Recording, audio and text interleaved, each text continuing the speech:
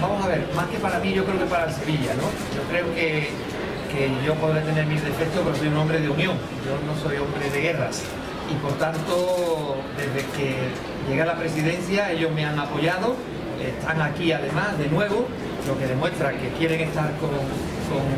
el equipo que dirige en este momento el Sevilla Fútbol Club y por tanto están aquí como sevillistas, como expresidentes y también hay ex consejeros que son, yo creo que piezas importantes dentro del accionariado importante de la sociedad. Lo primero que tengo que decir es que fue una junta muy positiva, puesto que se votaron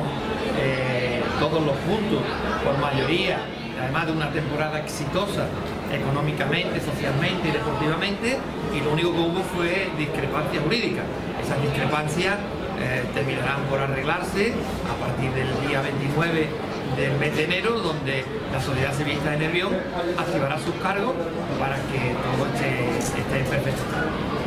más incómoda de lo previsto inicialmente para usted? Bueno, hubo discrepancias, ya lo he dicho, hubo discrepancias